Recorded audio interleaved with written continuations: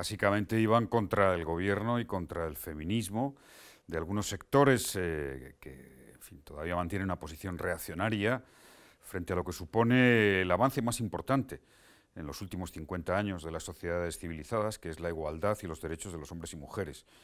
Eh, conmemorar y recordar el 8 de marzo es eh, hacer futuro y hacer un futuro en el que todos seamos más libres y más iguales. El feminismo tiene un reto que es no parar en las conquistas en favor de los derechos de las mujeres, en el ámbito laboral, en el ámbito de los salarios, en el ámbito del respeto a su libertad.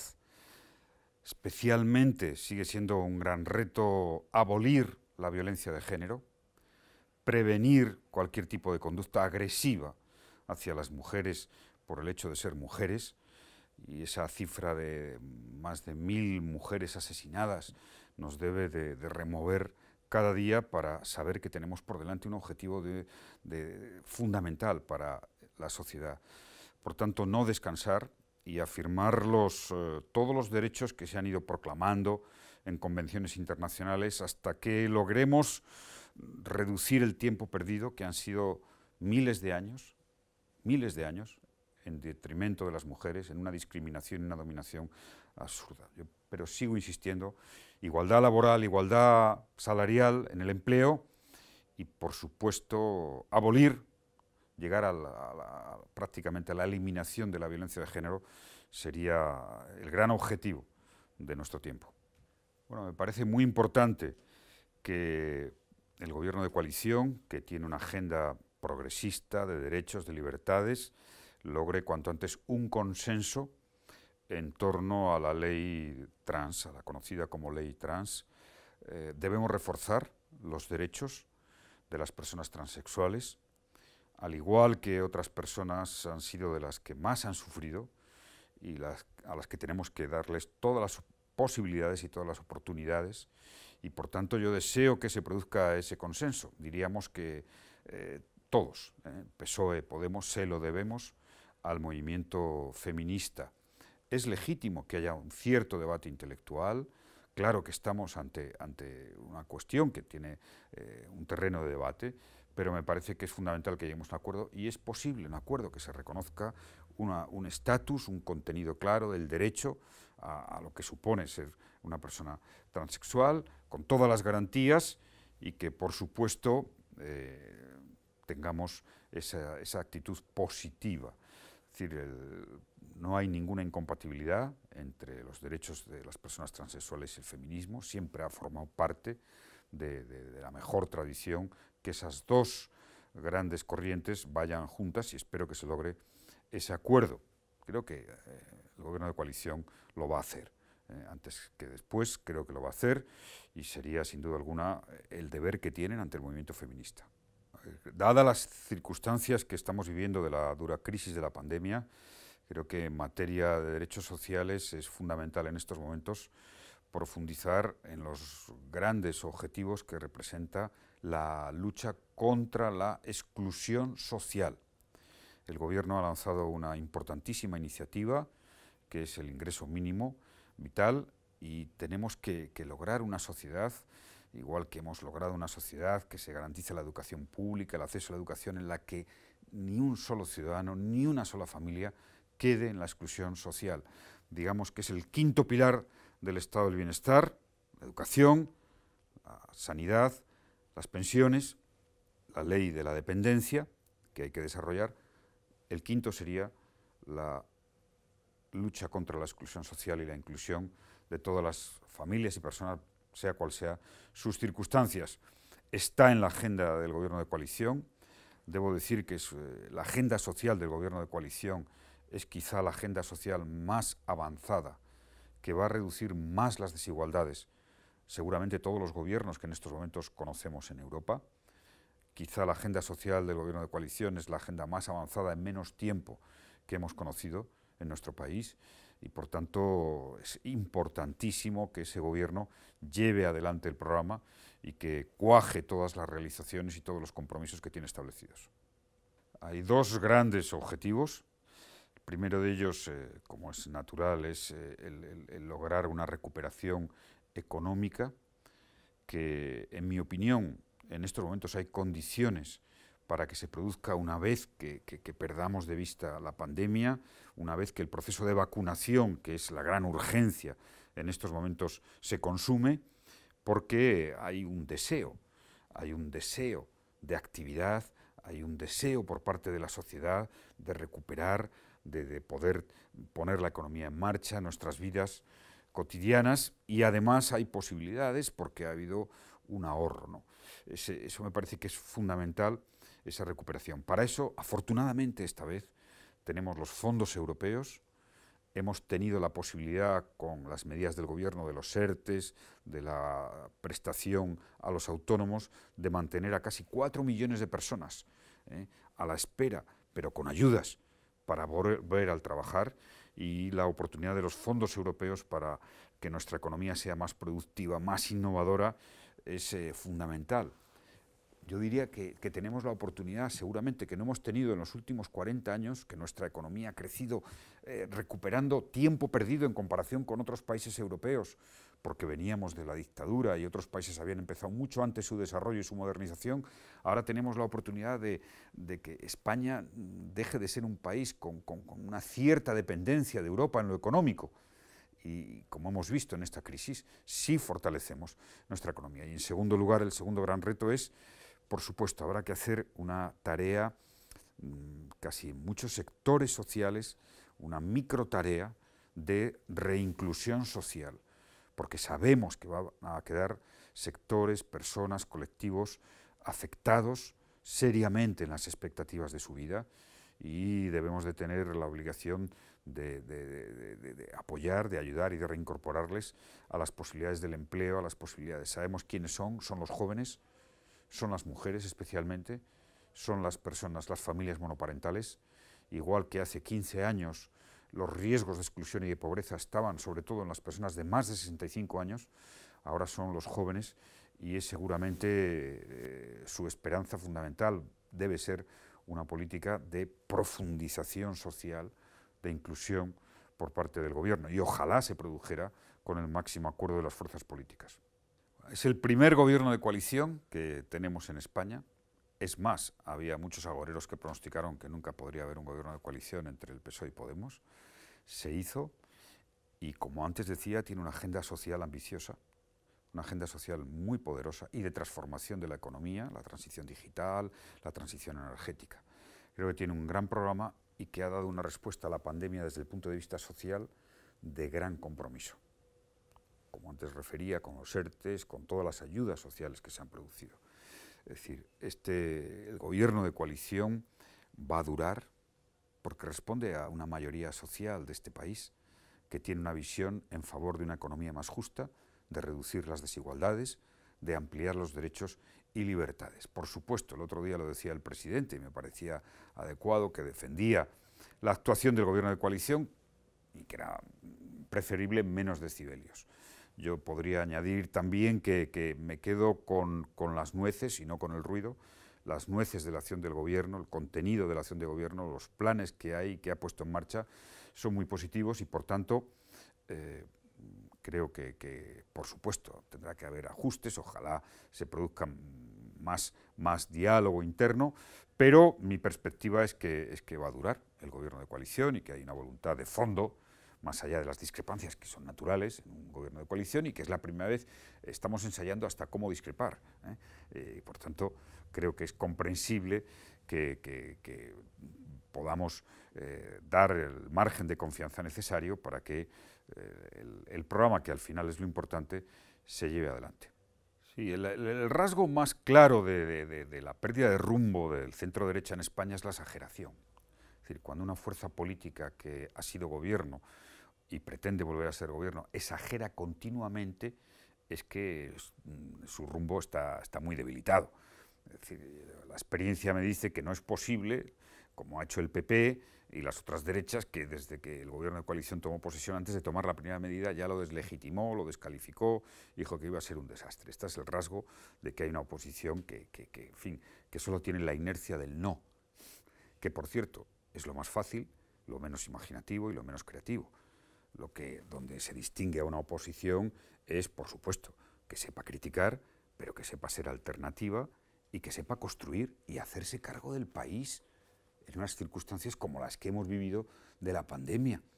Yo no tengo ninguna duda que el PP tendrá que tardará en convencer a los ciudadanos por qué no arrimó el hombro con todo y con toda la mejor voluntad en la pandemia al gobierno, en la crisis de la pandemia, porque debería haber sido así, como en otros momentos difíciles de nuestra historia ante crisis muy graves, y esta ha sido de las más graves. A partir de ahí, ¿por qué la fragmentación?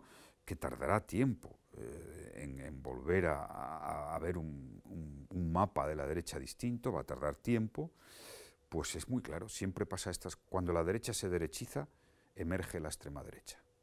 Esto es una ecuación lo podemos analizar en todos los fenómenos mm, populistas, neopopulistas, de derecha, de extrema derecha, que se han producido. Entonces, el Partido Popular tiene ante sí un, reto, es necesario un Partido Popular, que es la alternativa de centro-derecha, que esté centrado. Fíjese que, le llamo la atención en una cosa, porque digo que la derecha se derechiza y por qué se derechiza, es que antes oíamos al PP, hace unos años, siempre decir que era un partido de centro y el centro era quizá, si uno analizara esas cosas que hacen los expertos en comunicación, era la palabra que más utilizaban. Y ahora eh, eh, prácticamente no, no, no, no, se, no se les escucha decir el centro, el centro, el centro. Este es el problema de fondo, que no es un problema solo en nuestro país. Y yo deseo que, bueno, si es que el PP va a tener que, que hacer ese debate a fondo, lo ha hecho parcialmente, lo ha hecho con una cierta incoherencia, porque es importante que haya un Partido Popular sólido, fuerte, que sea alternativa, que haga acuerdos. Y fíjese, yo, que la, política es una tarea, eh, no voy a decir aquello de Rajoy, de que es difícil, es decir, no es fácil, ¿no? pero eh, la política es una tarea que exige eh, el, dar tiempo. Yo siempre he dicho y lo reitero, que Casado tiene un liderazgo nuevo, un liderazgo de poco tiempo, tiene además, fin, problemas serios en su partido, hay que darle tiempo, pero desde luego eh, comprobaría en su trayectoria política que si piensa a largo plazo, si piensa en el país y si piensa en ayudar al país, es como mejor desempeño tendrá el PP.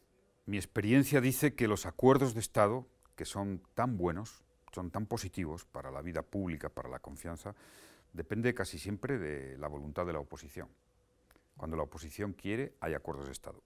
Es, lógico de entender, porque el gobierno, que tiene la, responsabilidad máxima, siempre eh, prefiere acuerdos con la oposición, es natural. ¿no? O sea, que, el, termómetro está siempre en el lado de la oposición. Y, es, un error pensar que es una oposición que haga acuerdos pierde credibilidad.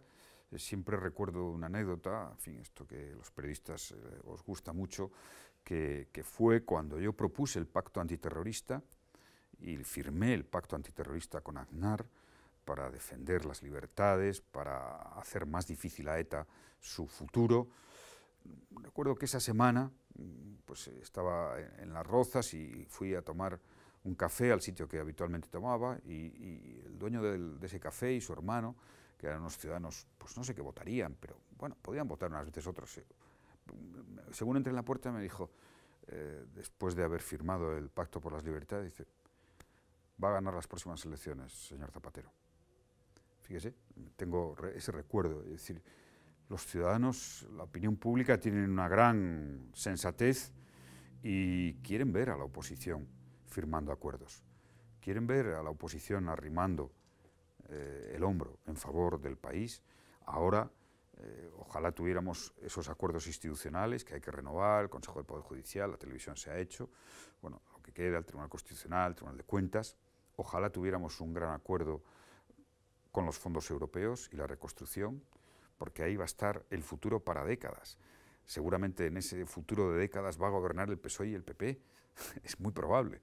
Yo creo que va a gobernar más el PSOE, pero bueno, eh, es, es probable que así sea y por tanto hay que participar. Y ojalá tuviéramos un acuerdo sobre la inmigración que es uno de los grandes eh, retos y de las asignaturas pendientes que no hemos podido culminar en un gran acuerdo de Estado sobre una cuestión tan importante como es la inmigración. siempre se ha debatido sobre los expresidentes y el papel, que cada uno tiene que ser responsable de, lo que considera que, supone ser expresidente. Desde luego pienso que los expresidentes debemos de ayudar, debemos de contribuir a, la, convivencia política en el mejor terreno, en el de la tolerancia, en el respeto. Debemos de ayudar a España, debemos de hablar bien de España, debemos de respetar al gobierno. Todos los que hemos sido presidentes sabemos eh, las, grandes responsabilidades que supone ser presidente de gobierno. Yo lo procuré hacer con, el presidente Rajoy y por supuesto ahora con mucho más afecto, énfasis eh, con el presidente Sánchez. Y me parece que, esa es nuestra tarea, eh, devolver lo que hemos aprendido, lo que la sociedad nos dio, que es muchísimo, ser presidente del gobierno de tu país. no me, podría, no me puedo sentir de otra manera.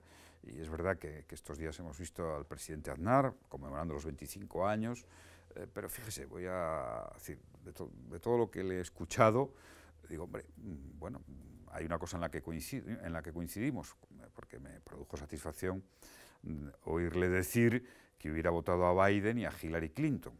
Creo que esto pues, es importante, es importante eh, que, lanzara ese mensaje y, en fin, no comentaré las otras cosas que dijo. Pero bueno, eh, los expresidentes eh, debemos de ayudar, debemos de ayudar, construir, aportar, respetar. lo peor en la vida, porque intelectualmente es un error y moralmente es muy discutible, es que nos instalemos en esa idea de que cualquier tiempo pasado fue mejor. Es una tendencia natural cuando se van cumpliendo años o cuando se tiene una responsabilidad, pero no es verdad, no es verdad. Es decir, cada circunstancia es cada circunstancia. Alguna vez cuando los periodistas tienden a preguntar, bueno, ¿qué te parece los líderes políticos? Y digo, bueno, yo cuando estaba en mi primera etapa, pues ahora veo cosas y digo, hombre, pues, pues claro, tenía mucho que mejorar por delante Claro, entonces no. Es más, diré, mm, si uno ha tenido responsabilidades de gobierno, si ha hecho país, si ha creído en su país, si ha creído en el progreso, debe tender a pensar que lo que ha dejado ha contribuido a que la política y los logros y las leyes pues sean eh, mejores. Hay cosas que, ah, que, por ejemplo, yo me hubiera gustado hacer en mi periodo de gobierno, no hice a fondo algunos temas y ahora los está haciendo este gobierno y me siento completamente eh, pues, pues, pues, muy agradecido y, lo considero como, como, como un éxito que, se, que las vías que se abrieron se consumen en materia de memoria histórica, en materia de derechos y libertades, en materia de apoyo a la ciencia, cosas que yo empecé en muchos terrenos y que ahora se está profundizando. Bueno, pues, en fin, tengo no solo el respeto, sino la, la consideración muy positiva. Muchas de las cosas que se están haciendo. Es verdad que ahora el debate político antes era bipartidista y era más sencillo en ese sentido.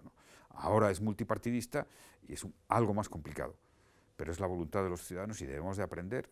Hubo muchas décadas de bipartidismo en España, ahora llevamos pocos años de multipartidismo, de pluripartidismo, y también estamos en el periodo de ensayo, de prueba, también asumiremos cómo es el funcionamiento, que tiene, como todo en la vida, sus pros y sus contras.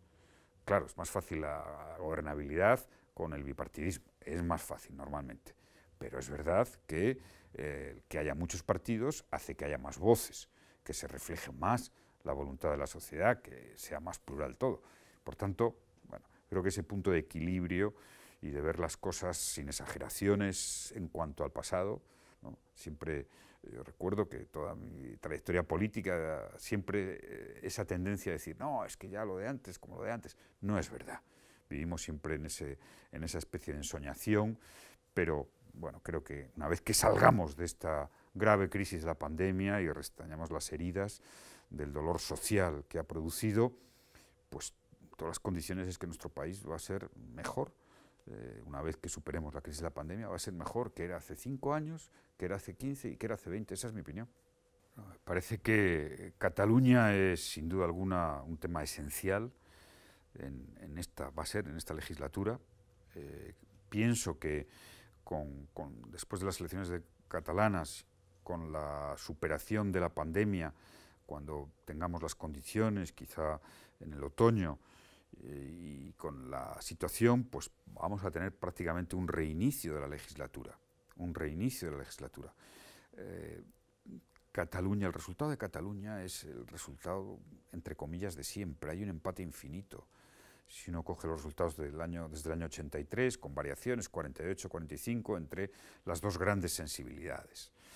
Hay un dato muy positivo del resultado de Cataluña y es que en, lo que es la sensibilidad independentista y en lo que es la sensibilidad, digamos, en favor del constitucionalismo, pues eh, los que han tenido más respaldo son los que están más proclives al diálogo, al respeto. Es decir, eh, debemos, de, debemos de afrontar el resultado de Cataluña, sea cual sea el gobierno, que previsiblemente será un gobierno de la mayoría parlamentaria nacionalista guion independentista, ¿eh? solo hacer este matiz, mm, eh, ha llegado la hora del diálogo a fondo, ha llegado la hora del compromiso a fondo con la crisis que arrastramos desde 2017 con Cataluña. Ha llegado la hora de la verdad y mm, deseo y estoy convencido que, esa mayoría que hay en el Parlamento, esa mayoría por el diálogo, imponga una agenda de racionalidad, de reencuentro, de convivencia, de reformas. Lo mejor de, que se ha producido en la historia de Cataluña se ha producido eh, con una buena comunicación y una buena relación con España. ¿Qué es lo mejor que recordamos de Cataluña en la historia moderna y contemporánea? Los Juegos Olímpicos, esa Barcelona atractiva en el mundo, esa Cataluña eh, con un número de visitantes por su, por su gran capacidad de, integración, por su historia, por su cultura, por su modernidad, por su fortaleza económica. Eh, lo hemos hecho juntos y juntos lo vamos a seguir haciendo. Y por tanto deberíamos de, volver a reiterar los, los principios que son esenciales en la política. Uno, los mejores productos en la historia política son fruto del acuerdo. Dos, la convivencia eh, que hay que recuperar se logrará si todos y cada uno de los grandes actores renuncian a su programa máximo. Y sabemos que además el programa máximo nunca es lo mejor de un proyecto ideológico o político. ¿eh? Y esos dos principios deben estar, bueno, deben, deben ponerse, volcarse en la mesa del diálogo y, por supuesto, la sensibilidad, eh, el respeto y el reconocimiento. Hemos pasado un tiempo en el que se impuso el desprecio, la distancia, y hay que recuperar el respeto y el reconocimiento. El diálogo no es solo un método, el diálogo no es solo un camino, el diálogo es un fin en sí mismo. Es más, es el fin esencial de la democracia.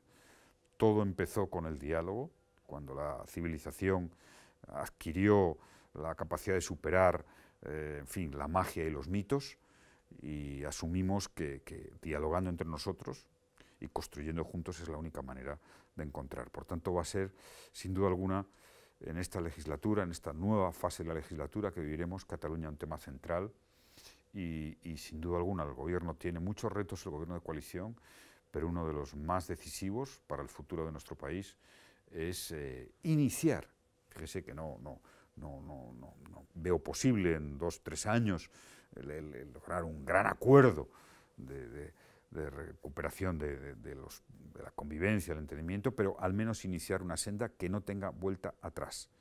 Es decir, si desde el año 2013-2014 hasta el 2019 la senda era confrontación, confrontación, confrontación, tenemos que iniciar una senda que solo sea diálogo, diálogo, diálogo, sin descanso y jamás renunciando a ese principio.